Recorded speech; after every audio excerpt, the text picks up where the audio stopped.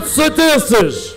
E é uma honra chamar a este palco, aqui na Fonte do Bispo, a força da mudança, Vitor, Vitor, Vitor Freitas, Força PS, Força PS, PS, PS, PS, PS, Vitor Freitas.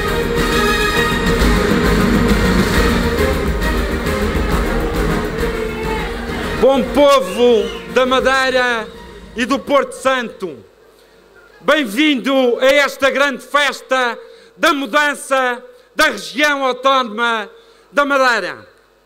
Caras e caros amigos, é sempre bom voltar a este palco, a este sítio que nos traz tão boas recordações.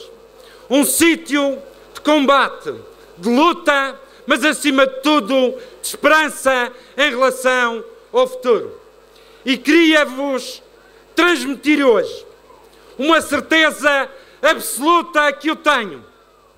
Hoje, dia 25 de agosto, daqui a 35 dias, dia 29 de setembro, a mudança vai acontecer na nossa terra.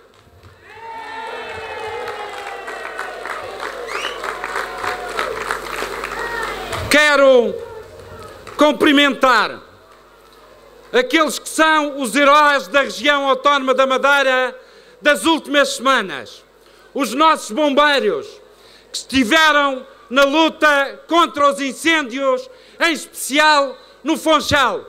Quero deixar aqui o tributo a essas mulheres e homens que ajudaram a defender a cidade do Funchal. Mas quero também deixar aqui a nossa solidariedade àqueles que foram as vítimas destes incêndios, que queimaram casas e bens de muitas pessoas no Funchal.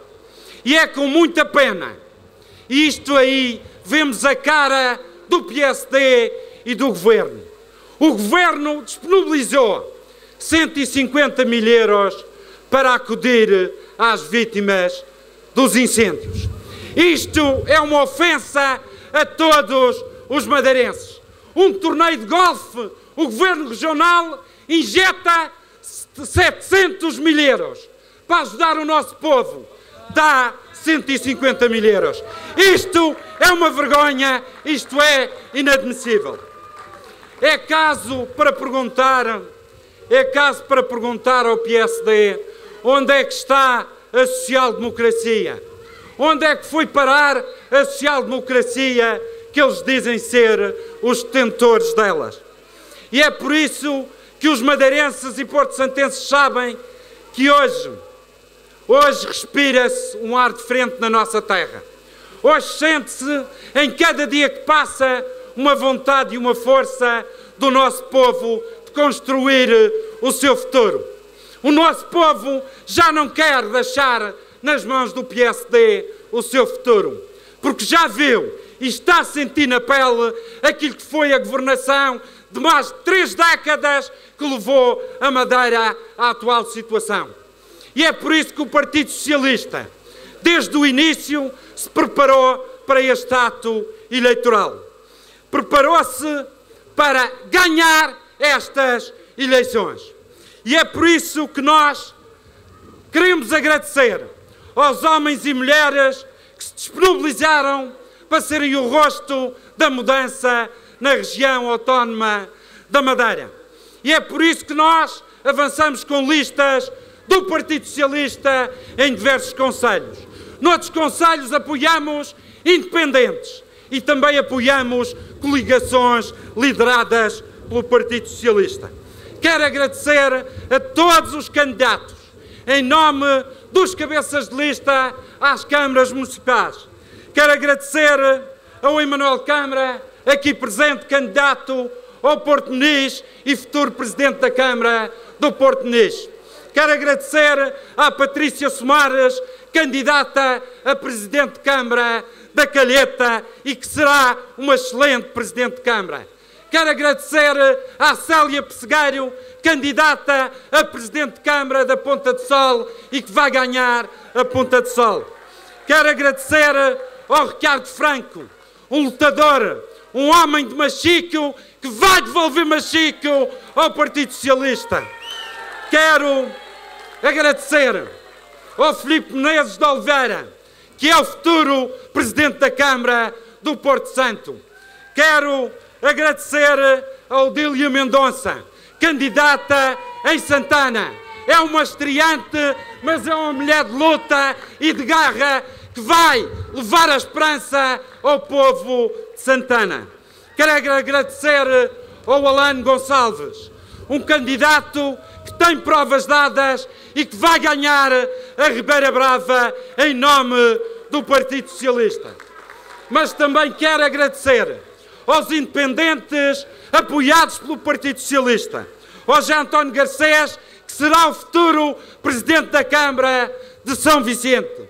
Quero agradecer por se ter disponibilizado para a mudança ao Filipe de Souza de Santa Cruz, que é o futuro Presidente de Câmara do Conselho de Santa Cruz.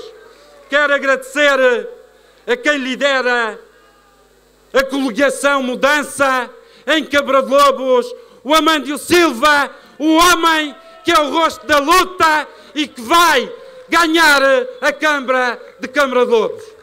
E quero agradecer também àquele que assumiu um compromisso com os fonsalenses, àquele que nos ajudou a construir um projeto de mudança para o Funchal. Quero agradecer ao Paulo Cafofo.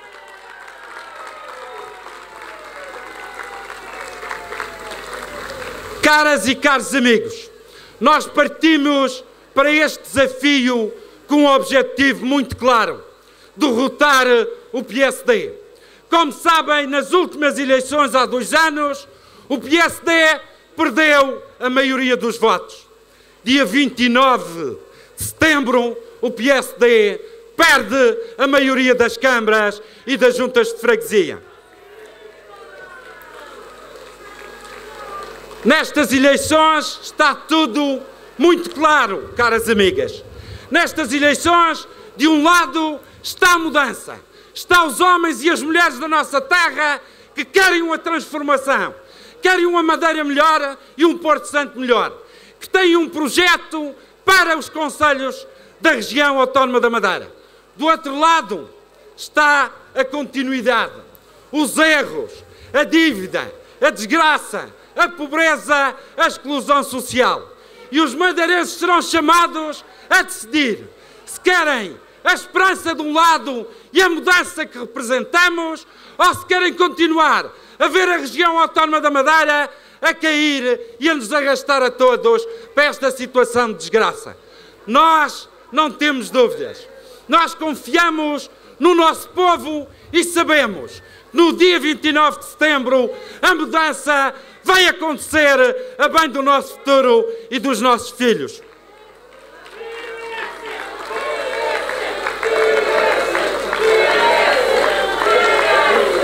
Caras e caros amigos, já ando nisto há algum tempo. Já faço política há 20 anos. Já participo especificamente há 20 anos na política. E nunca, em nenhum momento, senti aquilo que sinto hoje. Hoje, e eu já passei por todos os conselhos da região, hoje eu sinto uma força inquebrantável por parte do nosso povo para mudar a região autónoma da Madeira. E nós sentimos que cada dia que passa são mais os madeirenses e porto-santenses que estão ao lado da mudança. É por isso que é necessário, nestas eleições, concentrar os votos na mudança. É necessário concentrar os votos no Partido Socialista, nos independentes que o Partido Socialista apoia e nas coligações em que o Partido Socialista lidera. A mudança faz-se com a vontade de todos. E essa mudança está a acontecer. E nós sabemos que ela vai acontecer porque ninguém troca, ninguém quer aquilo que o PSD oferece. Nós temos candidatos, estes candidatos que apresentam propostas de esperança para o nosso povo. Querem rigor nas contas públicas. Não prometem aquilo que não podem cumprir. Têm uma vontade de trabalhar com as pessoas e para as pessoas. E têm também as mãos limpas. Estas caras são o exemplo da esperança e são a esperança dos madeirenses e porto-santenses. Neste, neste palco, subiram este palco homens e mulheres competentes. Noutros palcos, nos palcos dos nossos adversários, temos, a, temos lá aqueles que são os responsáveis pelo calvário que os madeirenses atravessam. São os responsáveis por terem endividado e levado a Madeira à falência.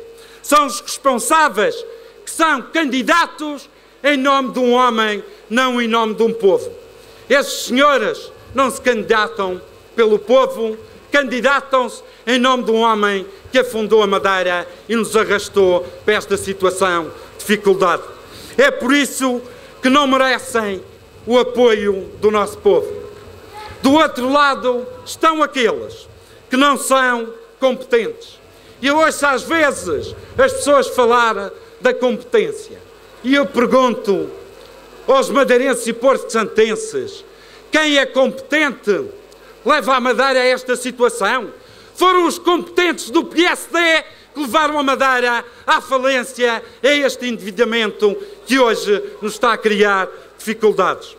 É por isso que nós afirmamos, nestas eleições, as pessoas sabem em que é que votam. E quando forem votar, sabem que de um lado está o voto da esperança e do outro está o voto da derrota e da dificuldade. As pessoas, quando olham para as setas do PSD, essas setas já não apontam para o céu, apontam para o descontentamento e para as dificuldades das nossas vidas.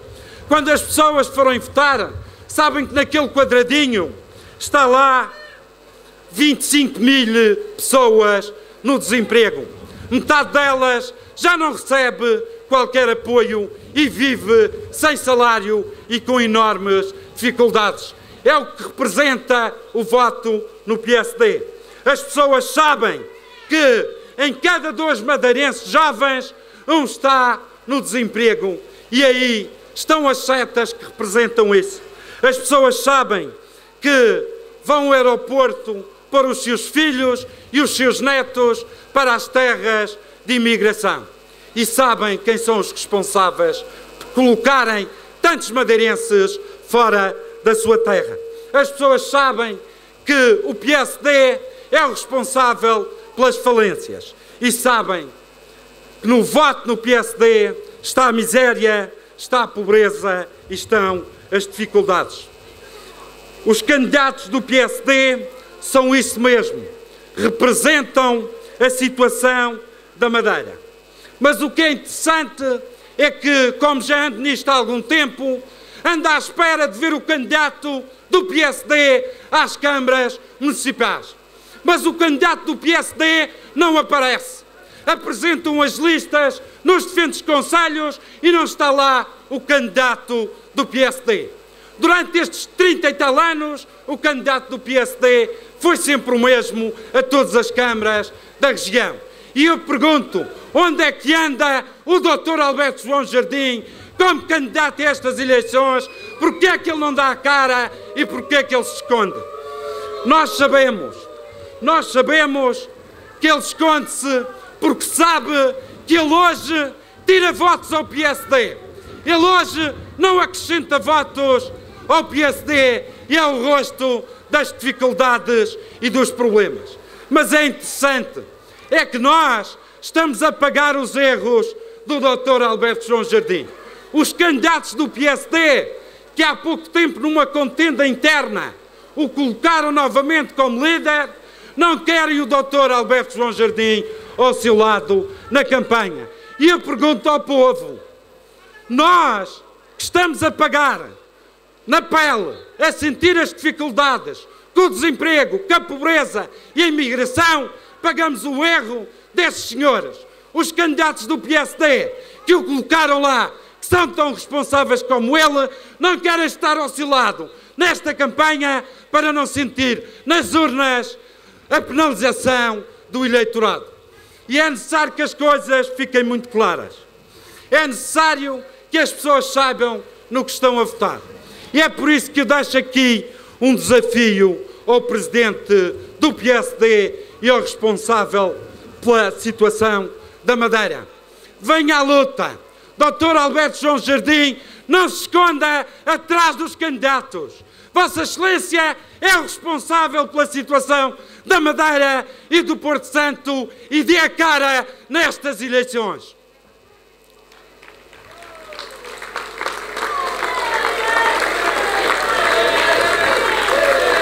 Caras e caros amigos, o PSD e o CDS apresentam-se a estas eleições. Só que eles querem esconder e continuar a esconder uma coisa aos madeirenses. A Madeira vai perder mais de 40 milhões de euros nos próximos quatro anos devido a uma lei que estes senhores aprovaram, a Lei de Finanças Locais. É preciso ter muita lata, o PSD e o CDS depois de cortarem verbas às câmaras municipais, apresentam-se como salvadoras e candidatos a essas câmaras municipais. Estes senhores não têm vergonha na cara e não têm respeito pelos eleitores. Porque eles não dizem, não dizem ao eleitorado que são os responsáveis pelas câmaras estarem falidas e a partir de 2014 terem menos recursos financeiros. Mas nós vamos dizer, esta campanha serve também para isso, para mostrar a realidade e os responsáveis pela situação da Madeira. Não há ingênuos. Depois de 30 e tal anos, não há ingênuos na política. Todos nós sabemos em que é que estamos a votar e a escolher. Se noutros tempos as pessoas votavam por ignorância, hoje já ninguém vota por ignorância.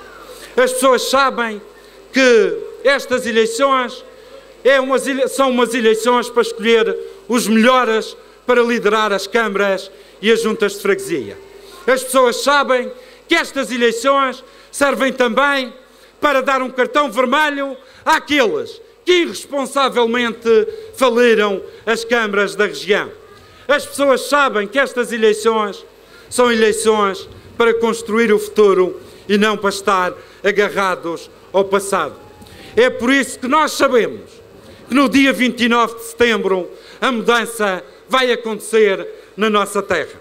E é por isso que vamos para estas eleições com sentido cívico e de responsabilidade de construir a mudança na Madeira e no Porto Santo.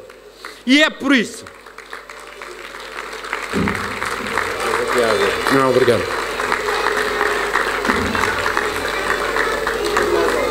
É por isso que há dois anos nós fomos para as eleições e vimos o PSD, tinha sido descoberta a dívida, mas não disseram aos madeirenses que medidas seriam aplicadas na Madeira. Disseram que não ia haver aumento de impostos, aumentaram os impostos. Disseram que não ia haver despedimentos, existiu despedimentos. Disseram que as medidas da República não se aplicavam à Madeira, aplicaram-se na região autónoma da Madeira. Afirmaram na altura que aqui seria diferente e assinaram um plano de ajustamento que traiu a Madeira e o Porto Santo. E se a, se a crise em Lisboa e no continente é grave, por culpa do PSD, aqui na Madeira ainda se transformou ainda mais grave. É por isso que nós temos a maior taxa de desemprego do país. Temos o maior número de falências. E é por isso que o PSD está novamente a fazer um jogo para enganar o nosso povo. Porque é que o governo PSD, CDS, PP adiou a oitava avaliação da Troika no país para depois das eleições autárquicas? Porque é que Paulo Portas e Passos Coelho não apresentam o orçamento de Estado e os cortes que pretendem fazer no país e na região autónoma da Madeira. Desta feita, querem mais uma vez que os madeirenses e os porto-santenses vão votar primeiro e só depois é que mostram o jogo depois das eleições. Mas nós já sabemos, nós sabemos o que vem aí. Nós sabemos que Paulo Portas e Passos Coelho querem despedir mais de 50 mil funcionários públicos. Nós sabemos que agora, no mês de setembro, mais de 20 mil professoras não terão colocação nas escolas. Nós sabemos que o PSD e o CDS, a partir do dia 1 de janeiro, querem cortar 10% nas reformas de quem trabalhou ao longo destes anos. Mas nós sabemos também e não admitimos que isso aconteça. E cada voto que um português coloque, seja na Madeira ou no Porto Santo, no PSD e no CDS, o que está a dizer a Passos Coelho e Paulo Portas e Alberto João Jardim e José Manuel Rodrigues é despeçam funcionários públicos, é cortem os reformados, é afastem os professores das escolas. É isso que simboliza o voto no PSD e no CDS. Caras e caros amigos, nós sabemos que o povo da Madeira é um povo inteligente. Nós sempre respeitamos o nosso povo. Nós sempre achamos que a Madeira e o Porto Santo têm futuro. Nós sabemos, porque nós temos um povo instruído, um povo culturalmente avançado, um povo que construiu esta terra no meio do oceano, um povo com quase 600 séculos de história que atravessou muitas dificuldades. Nós temos um povo que é um orgulho para quem quer liderar a Madeira e o Porto Santo. E nós sabemos que nós, madeirenses e porto-santenses, temos qualidades para tirar a Madeira e o Porto Santo da situação em que o PSD colocou. Nós estamos à altura de transformar a Madeira.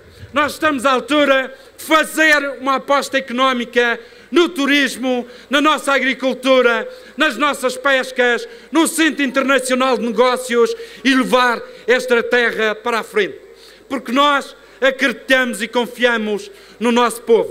Nós sabemos, nós sabemos, cortando com estas, com esta canga do PSD, cortando com a forma como estes senhores governam e esbanjam os recursos da Madeira.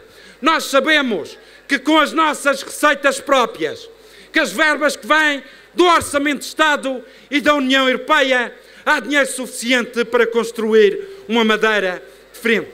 E o Partido Socialista, as coligações que lideramos, os independentes que apoiamos, estamos todos à altura de transformar a Madeira. É por isso que nestes 35 dias que faltam para as eleições, nós vamos dar tudo vamos dar tudo pelo nosso povo e pela nossa terra. Porque nós temos a convicção, nós temos indicadores, nós sabemos que vai haver uma mudança na Madeira e no Porto Santo. Esta, em 30, em mais de 30 anos de democracia, nós estamos no momento certo. Estamos entre o passado e o futuro. O nosso passado construído da forma que foi, com algumas coisas boas e hoje, infelizmente, com muitas coisas más. Nós queremos é agarrar o futuro da Madeira e do Porto Santo. Nós não podemos deixar o nosso futuro nas mãos daqueles que o querem destruir. Nós sabemos que os inimigos da Madeira não estão na Europa, nem estão em Lisboa. Estão na Quinta Vigia, estão no PSD e estão a nos derrotar, a derrotar a Madeira. Nós temos uma terra com gente forte e com gente orgulhosa. Gente que sempre trabalhou e nunca gostou de andar de mão estendida. Nós nunca gostamos de viver à custa do Estado. Nós queremos trabalho. É isso que os madeirenses querem. O povo da Madeira quer emprego, quer trabalho, quer ganhar o seu sustento, não quer esmolas, nem quer viver subsídios. É por isso que é necessário rapidamente inverter esta política. É necessário acabar com a política dos cortes que nos afundam.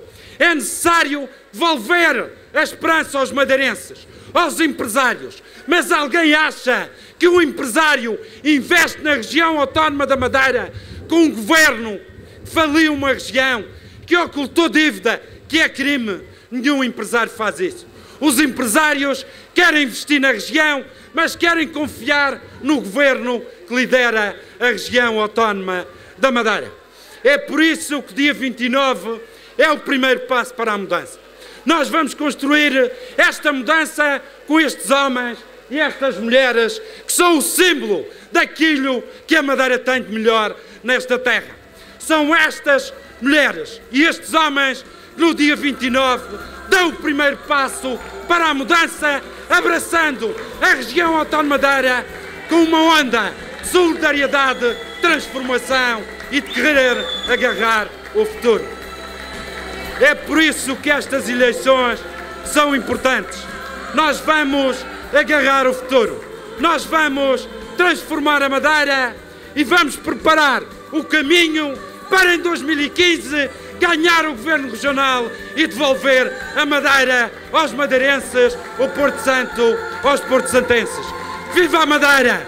Viva a Madeira! Viva a Madeira!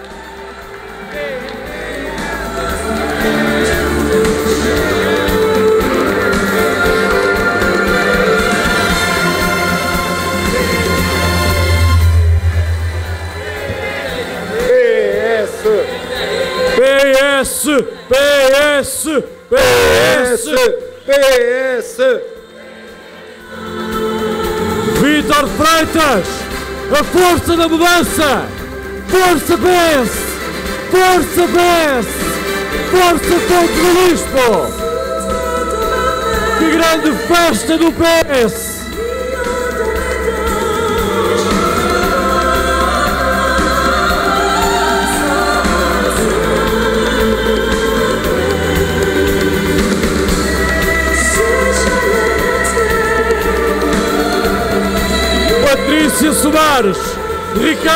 Ricardo Franco, Célia Pessegueiro, Emanuel Câmara, Alano Gonçalves, Odília Mendonça, Amândio Silva, Paulo Cafofo e Filipe Menezes. São estas as mulheres e os homens que nos vão levar à vitória no dia 29 de setembro. Força PS! Força Fonte do Bispo! Onde é que está o PS? Força PS! PS! PS! PS! PS! PS! PS!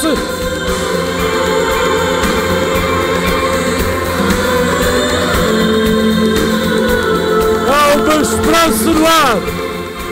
Há uma esperança no ar! A força da mudança! Força PS!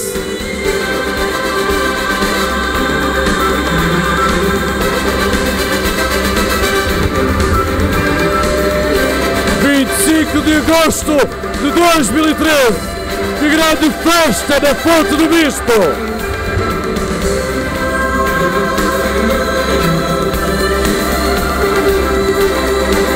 Não há vento, não há frio, não há nada que nos derrote! Força PS! Força até à vitória!